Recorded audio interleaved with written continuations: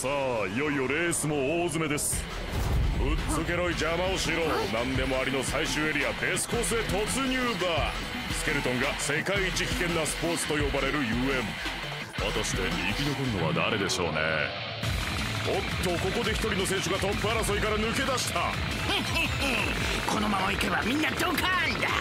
ゴミ落ちてたから拾っといたわよ。ババカモン！それは俺が設置した爆弾だあーっと自爆してしまった。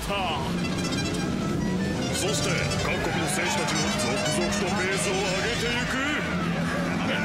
ドキドキおや坊やたちペンギン一家がコースに迷い込んできたぞ。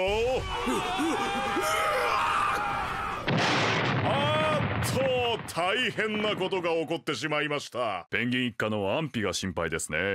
さあ気を取り直してトップを走るのは無傷のポッコ選手。おーっとこ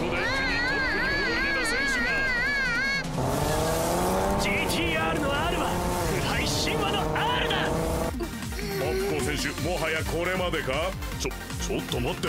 あれは？ヒビミコーチです。ものすごいスピードだ。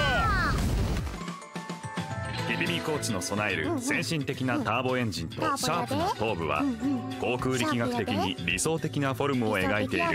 まさにサーキットの強肩と呼ぶにふさわしい仕上がりだ。そして俺とお前が合体すると2倍の速さになる。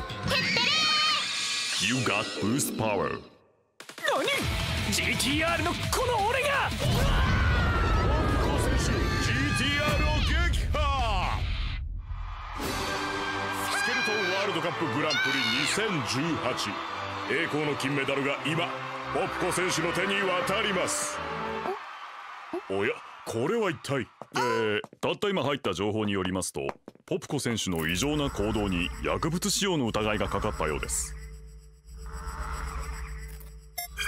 あなんとポプコ選手の体は機械だったようです。バーれちまったらここまでよ